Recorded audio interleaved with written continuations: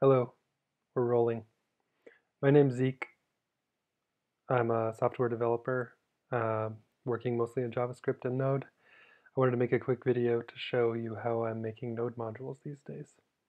So I've been working on some internationalization stuff and I've noticed that um, sometimes people don't know what this term I18N means or what L10N means. And these are, turns out these are called numeronyms and they are abbreviations for longer words like internationalization and localization. So the pattern here is basically you take a long word, extract the first letter and the last letter from the word, and put a number in the middle, which is the number of characters in between the first and last letter. So I want to make a little node module um, that numerizes numero, numero, numero names words uh, just for fun. So the first thing I'm going to do is just create a directory called numeronyms. Numeronym was taken on npm, but it looks like numeronyms is available. Also this, when I designed the npm website, this was a shout out to rubygems.org, which has a similar message. And their, their message in turn was a shout out to Wayne's World, in which Wayne Campbell wants to buy a fancy guitar, but he can't afford it yet. But someday it will be his. Oh yes, someday it will be his. So anyway, we make a directory, numeronyms, pretty simple. cd into it. And then I like to use yarn's uh, package JSON in it instead of npm because it has some better defaults. So we'll just call the package numeronyms. Um, turn words into numeronyms. And it's going to be on my personal GitHub account. Numeronyms. Mm -hmm. Okay, so if we look at our directory, we've got a package JSON there. I'm going to add an index.js and a test.js. And let's just start adding some dependencies that I know I want to use. So I tend to use uh, standard for my JavaScript projects, and lately I've been using a test framework called Jest, which is made by some people at Facebook. And normally I use Mocha or Tap or Tape, depending on the circumstances, but just recently getting into Jest and liking it. So while that's installing, I'll pop up another directory. And go ahead and edit this code. And I'm going to start by writing some tests. So the nice thing about Jest is that it brings in a bunch of globals for you automatically. So you can just start saying, you can just start writing test cases without requiring too many, without requiring a bunch of modules or setting a bunch of boilerplate. So our module doesn't exist yet, but let's just pretend it does. So it's going to be in the same directory, so that's how I'll require it. And then we'll say test um, is a function. So I usually like to start with a very basic test just to prove out the functionality. So we'll say uh, expect type of, oops, I spelled numeronym wrong up there.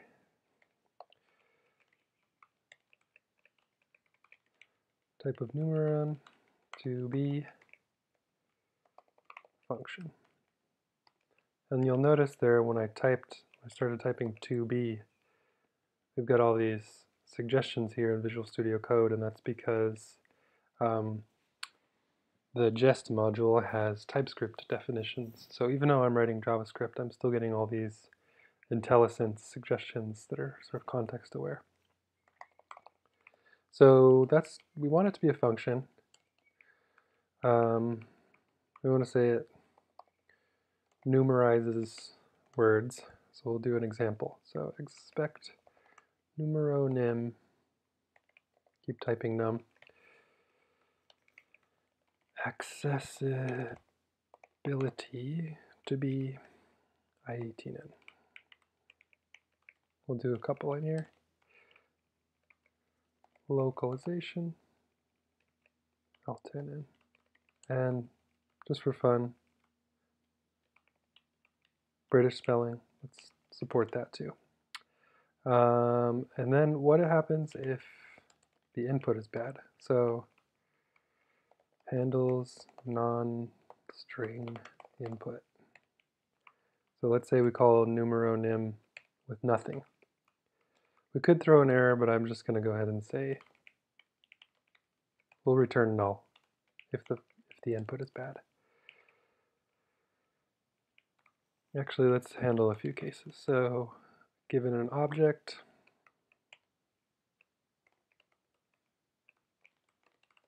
that should be null as well. Given a number, also null.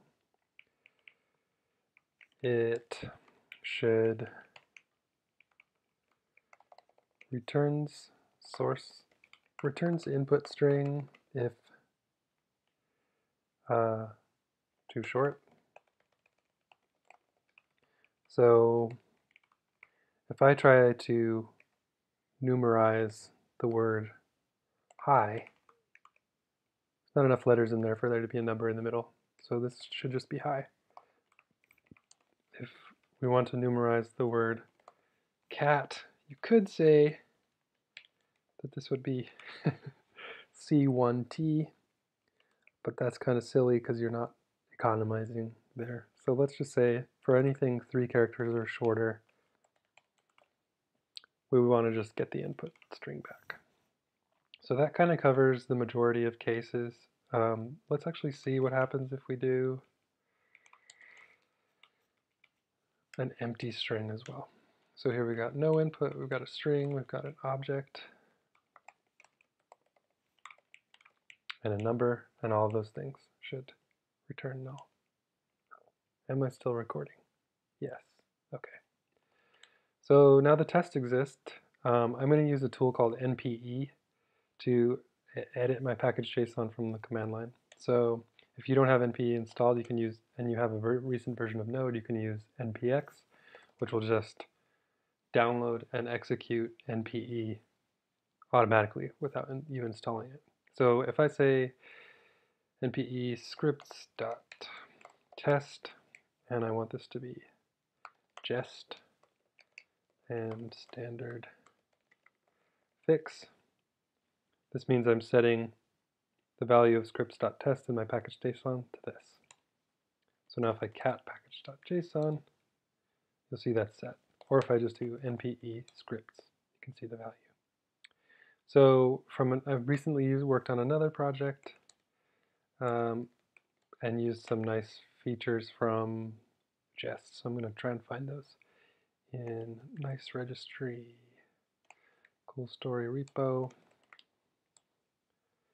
So this jest command will watch your code, notify you if it passes or fails, but only notify you when it changes between a passing and failing state.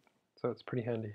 So I'm going to say npe watch, and the value of that is going to be this. So again, if we do npe scripts, we can see we have it. Oops, I set that wrong. npe scripts.watch. All right. So I blew that. Let's clean that up a little bit. Uh, we don't want the watch command here. We want it as a script. So now, if we run npm test Oh, npm tst is apparently a secret alias for npm test. Good to know. So of course, yeah, we didn't expect this to work because we haven't even written any of the code yet. So let's actually start working on index.js and write the code. So it's going to be a simple function. It's good to name your functions because if you have errors, the stack trace will refer to this function name. You could use an anonymous function like this, but it's helpful to give it a name for debugging. So, and we want, we're going to take input. So we'll say if not input, return null. If type of input does not equal string, return null. And I used I like to use these this pattern of early returns. So just bailing from your function right away if something's wrong. If input dot length is less than or equal to 3, return input. So if we get to this point in the code, we know we have a string. We know it's at least four characters long. So now we can perform the operation on it, um, the numerification. So it should be pretty simple. It should just be uh, the first character. So we can do input dot char at. I think that's a thing. I'm going to check. I'm going to go over to Node real quick and make sure. So foo, food char at 0 is f, char at 3 is d. Okay, so that's what we want. We could also do like food sub 0. That works too. Char at is a little more explicit and you know you're working with a string rather than an array. So we'll say foo charet 0 plus, and then this is the number part in the middle. So we want to say um, whatever it is, we're going to cast it to a string just to be safe. Even though string plus a number should take care of it, this is just a little more explicit. It makes me feel comfortable that it's actually going to work. The number here is going to be input dot length minus 2 to account for the first and last letter. And then the last part is going to be input.char at input.length minus 1. So that should be the last character. So I think that's it. Uh, let's see what happens if we run the tests here. I'm going to close that. We don't need that anymore. Let's run npm test, spell it right this time. Okay, type of input does not equal string, return null. So parts of it are working. Um, what's going on here? String is not defined. Okay, I referred to something as string. That should have been like that. Oh, let's try npm, let's try running the watch command so that we can just get continuous feedback as we write the code. Okay, so the first time it runs, it kind of does this weird thing where it didn't run any tests, but 100% of them passed. So I think that's kind of a bug in jest, but um, if you type the letter A, it runs everything. And we're looking a little better here. So um, oh, of course, accessibility would be A11Y, not A18N. um, if you're watching along and that was kind of unbearable for you to watch me type the right the wrong thing, I'm sorry. What is this thing stuck on my screen here? Internationalization. Looks right. And now look, our tests are passing. And the cool thing about the jest command we're using here is it actually shows us places where we're not fully, we don't have full code coverage. So line 4 of index.js is not being tested.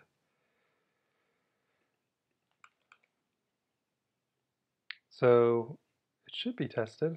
Um, oh, I guess we don't have, doesn't that test it? Oh, again, didn't even call the function here. So this should be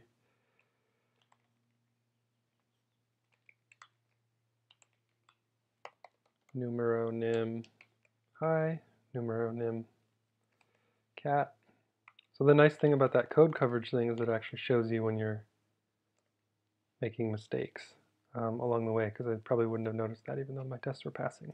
So um, here we now have 100% code coverage. We wrote the tests before the implementation and we're pretty happy so we can actually kill this. Um, and this would be the, the point when I would normally actually create the Git repository. So I'm going to create a Git repo and I use a tool called Hub. Hub is like I have it aliased as git. So when I type um, git create, that's actually a hub command that lets me create a repository from the command line. So I'm going to git create numeronyms, and by default, it's going to create on your personal account. So this is the equivalent of that. So if you wanted to create it on a different org, you could type the org name here. But if it's on your own account, you just leave it blank. And let's try a little bit of magic here so that you can use you can use a p flag to specify private, but this is going to be a public repository, so I'll leave that there. This is for D is for description. So let's see if we can actually do this. I don't know if this is going to work. Let's try it though.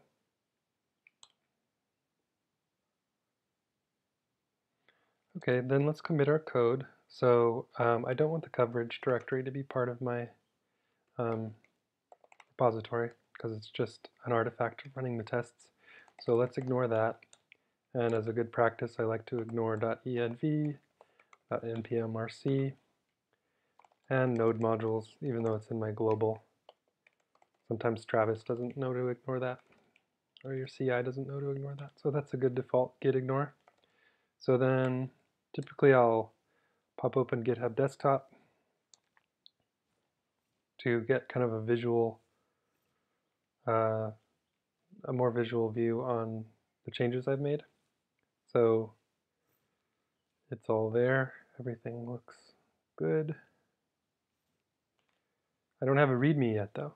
So um, let's actually publish the first version of the module and then we'll, we'll um, add a README and bump the version. So um, commit all the things.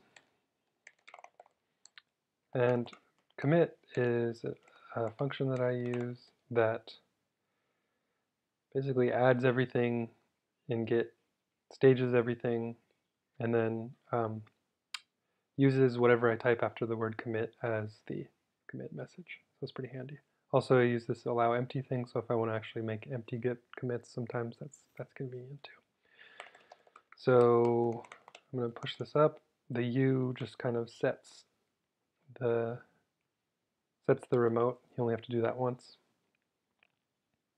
And I use this tool called GHWD, which um, you can install with GHWD, and it opens up your current working directory in Git. So if I type G and hit enter, it opens my browser. I can jump to the code and see what's going on here. So it looks like my little trick to try and grab the description from package.json actually worked and set the default description on the repo. So I know there are cooler ways to do this, but what I'm going to do is, um, actually I'm going to go to Travis right now and see if I can turn on CI for this repository. So it's probably not in here yet. Um, no, so I need to sync my account.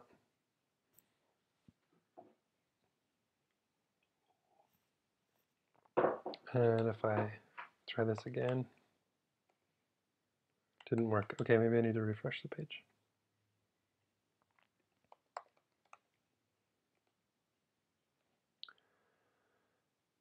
Okay, sometimes Travis doesn't pick up all the changes, so let's come back to that in a minute.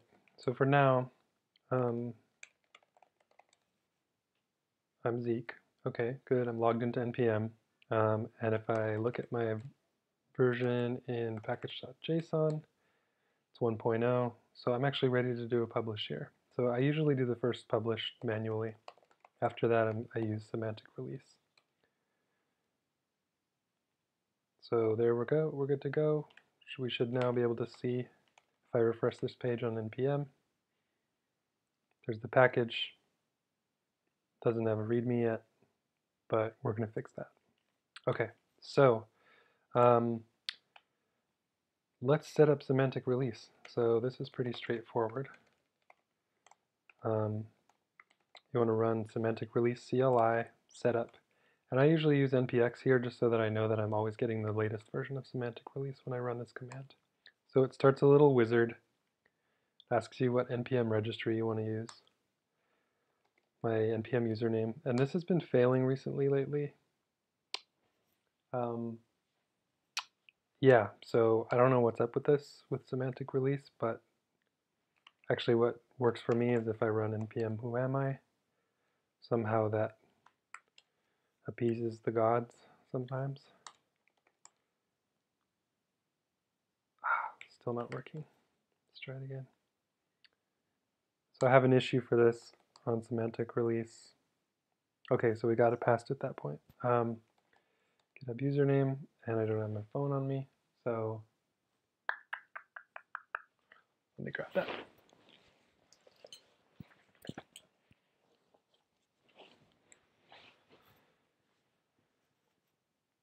Okay, 259291.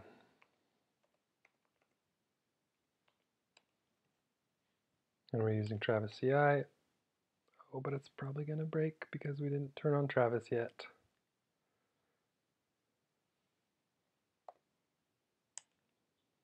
Maybe we don't have to turn on Travis. Maybe this is a lesson for me. Okay, so uh, if we look, if we check our Git status, we'll see it's kind of easier to view in GitHub Desktop what happened. So semantic release created this um, version number in package.json that's never going to change anymore. It's always going to be 000 development, and it's up to a machine or a computer or a program now to determine the, the versions going forward.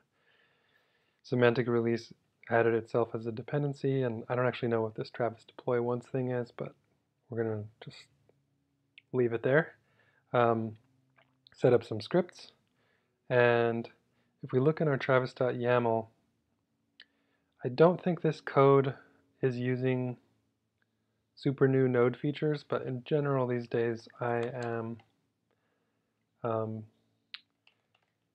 with modules like this, I am only testing them on node 8 and above. Um, I think node of node 4 just reached end of life. Um, so yeah, maybe I'm leaving someone behind here, but probably not. So we're going to just test on 8. So I'm going to create a new branch called semantic release. And I'm going to say, this is, this is an important part. So I'm going to use a prefix here when committing, um, which indicates to semantic release what kind of change this is. It's a feature, which means we could also call it a fix, but as a feature, it'll bump the minor version number and create a release when we when we ship it, when we merge the pull request. So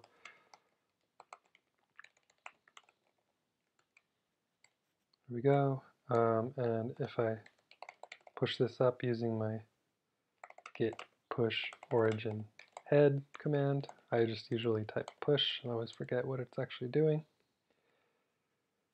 That should push it up. Use G to open it up and we'll create a pull request. So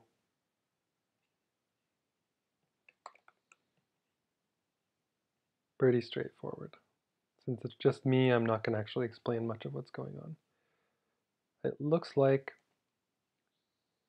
Travis is now turned on for this branch, for this repo. But an important thing to know about Travis and semantic release is that you have to have there, it's in there now. Shoot. Let's configure it. Okay, you have to make sure that both of these switches, pushed branches and pull requests are turned on, which they are. So why then am I only seeing one? Okay, it just took a little while.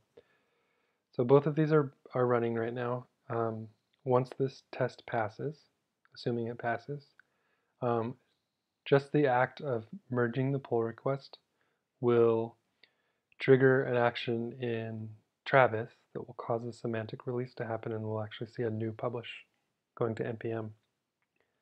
So in the meantime, while I'm waiting for that to happen, I'm going to write a README.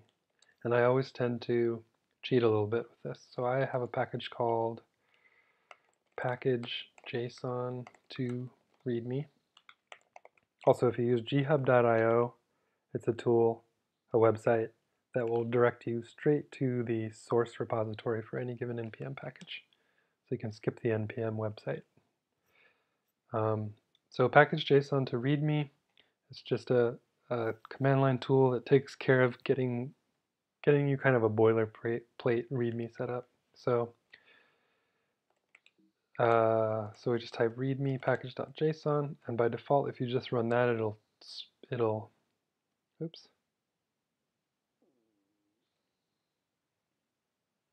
Huh. Oh, we don't have all our dependencies installed because we actually used npx to run semantic release. So if I do npm install, we shouldn't see any more errors when running readme package JSON. There we go. So if we look at just standard out here, we can see kind of a some markdown. So I'm going to just pipe that into a file called readme.md. And now if we open it in our editor, we've got the basis of something. So by default, it kind of shows you what your dependencies are, what the license is, stuff like that. I always have to add usage. So in the interest of time, I'm just going to say C tests. Um, but normally I would write like a, a blurb here with some code snippets that show how to actually use this code. Um, but I'm going to take a shortcut here. So I'm going to go back to the master branch and demonstrate another handy little alias I use called QPR, which will actually create a branch based on the message I type and create a commit message and generate a PR.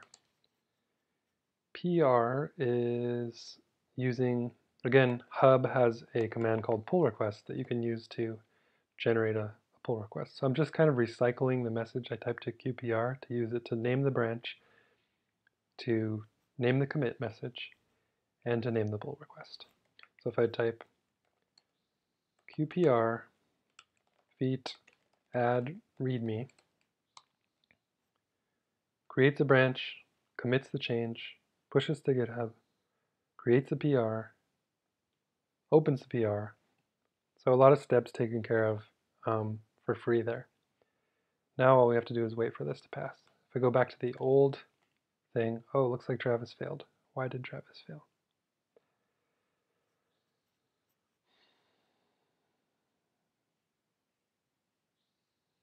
Oh, because Okay, this I forgot this was going to happen. Okay, so we're seeing all these errors from standard because we were running our watch command, but we didn't actually run npm test. So if I run uh, npm test locally, we'll see oh, we get some failures from standard. So this is because we're using all these globals that are automatically added to when you run jest test.js or just jest, which looks for a test.js by default. Um, it's injecting all these globals into the into the scope when running that code. So test is injected, expect is there. So people have different feelings about this. I think it's actually really convenient for when you're writing tests and you just jump in there and there's not a lot of nonsense here. It's also nicer than Mocha in a way because Mocha doesn't come with a any kind of assertion library. So this is like the most batteries included node test tool that I've used so far. So anyway, we I think we can actually just do npe standard dot env dot jest true. And if we look at our package.json, you'll see what that's set. So standard has this thing called env where you can specify, um, oh, and this, I guess that's a bug. That should be true like the boolean, not like the string. Um, so this will tell standard, okay, we're using jest, so if you see things like expect or test, don't worry about it. So let's see if this passes now. Yes, okay. So this change, we actually, we want to bring it into that other branch. So I'm going to use, what is B? All right, there's a few cool things in here. So B gives me kind of an interactive thing for choosing branches.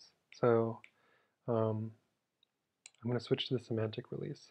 And the way that that's working is it's using this tool called pick. And I think you can just brew install pick, um, which is like you basically pump new line delimited text into it, pipe new line delimited text into it, and it um, creates a prompt that allows you to pick one of them. You can even do like filter typing to filter down the list. And what is branches? Okay, some long git command that I found on Stack Overflow, undoubtedly. Okay, so, oh, but it didn't let us switch to that other branch. Okay, so stash the changes, switch branches, and there's a conflict in package.json. Okay.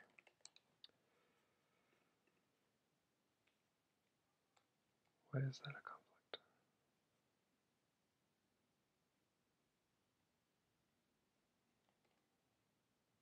What do you mean?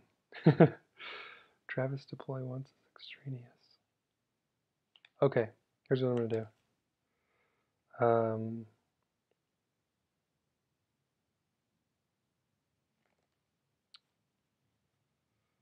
hmm, what do I do when a stash goes wrong? Ah, I don't know what I'm doing. Okay, here's one way to deal with it.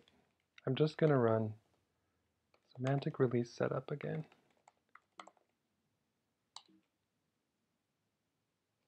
Oh, bad JSON. What's bad about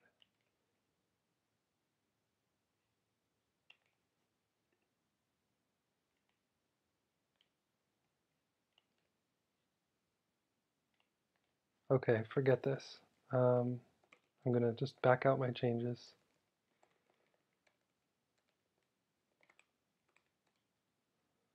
Oh, geez. Now I'm in some some hellish space where everything's broken. Okay, please wait. This is the README one. Let's go to the other pull request.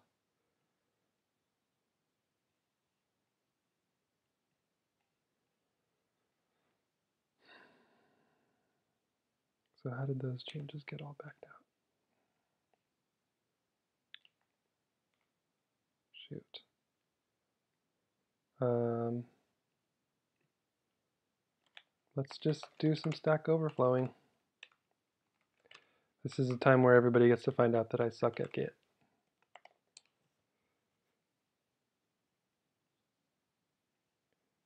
So the answer is git reset. Okay, so I'm going to do git reset index.js and git reset package.json.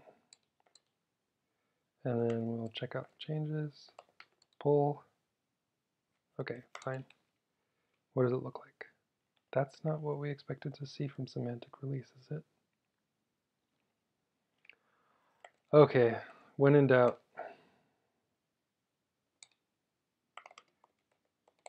get rid of the local branch.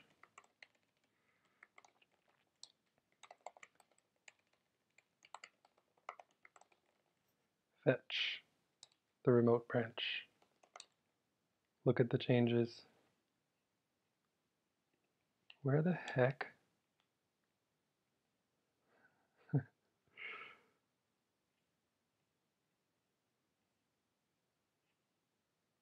Why, why am I not seeing those changes when I just pull down the branch? Git branch set upstream to origin semantic release. Semantic release. It says I'm already up to date, but I'm not.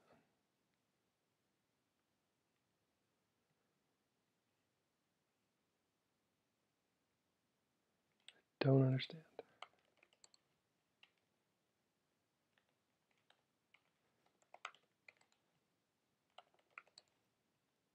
Oh, weird. Okay, so Visual Studio Code was showing me an outdated version of the file for some reason. okay, very annoying. But now we should be in a good place to be able to reapply those changes to uh, fixed standard. So standard dot env dot jest true. Okay, again, Visual Studio Code not showing changes. Weird. And now if we run tests, we're good.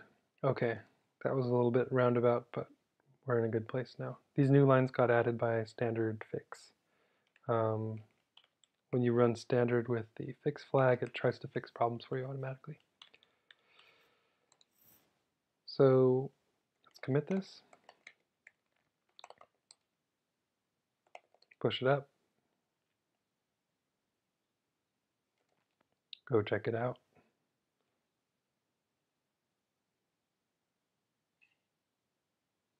And we'll wait for that one to run. And the readme, the readme one is probably failing too, for the same reason.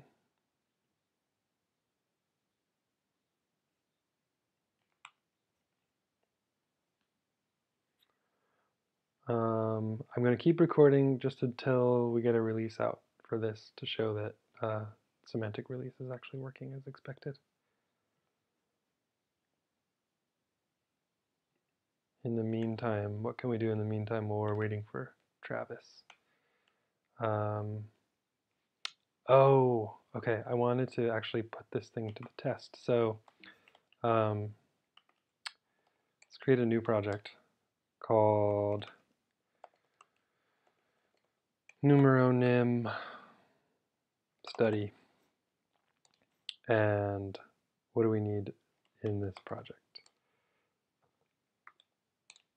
We need a package JSON. And We can just say, pass the yes flag that'll just choose a bunch of defaults for us. We want to add, we want to install numeronyms, plural, and we want to install um, an array of English words, and we want to install count array values. You'll see in a minute what this is useful for. So let's touch index.js, create the file. So words and um, numeronym and count values. So uh, let's say words dot for each word console.log numeronym word and run this and see what happens. Okay, cool. We get a bunch of numeronyms. So what I wanted to do was actually collect them, call them nyms,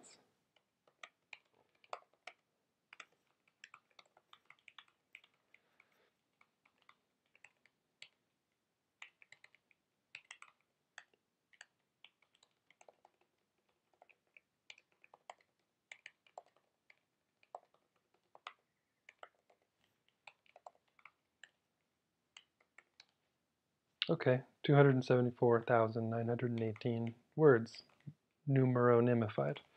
So I want to see how many how many uh, numeronymified words are um, common. So let's say count values just takes an array of values and counts them and sorts them by their counts.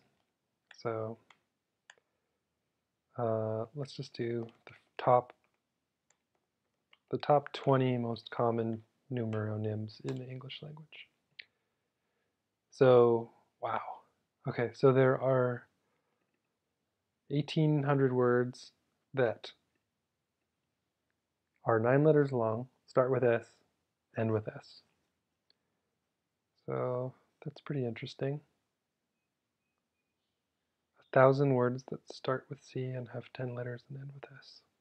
Let's look at some more of them. Let's change this to 100.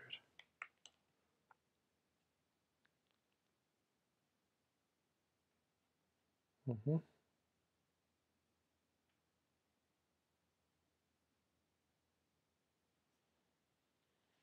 I don't know what the practical application of this but is, but it's kind of curious just to find out. It looks like S is very common. What if we filtered out words that end with S, just for fun?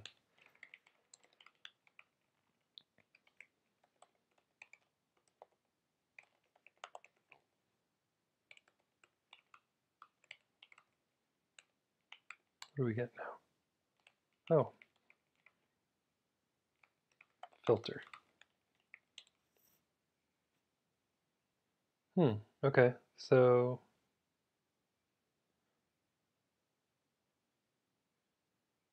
yeah, again, maybe this isn't useful at all, but it's interesting to, to look at. Um, okay, these tests passed. That was a good little distraction. Okay, so Let's merge this pull request because it has a semantic commit there. It should trigger a, a release. So if we have a tendency to just delete branches right away.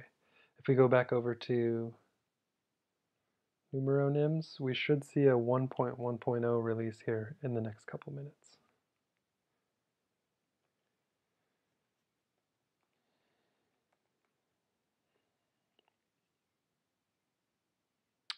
And then this will need to, this branch will need to be rebased with master. So I will do that while we wait for that. So let's go back to master. M is just git checkout master. Pull. Go into our README branch. Rebase with master. Force push it Anytime you do a rebase locally, you have to force push the changes. So now we jump back up there and look. Let's see if this released yet. No, not yet.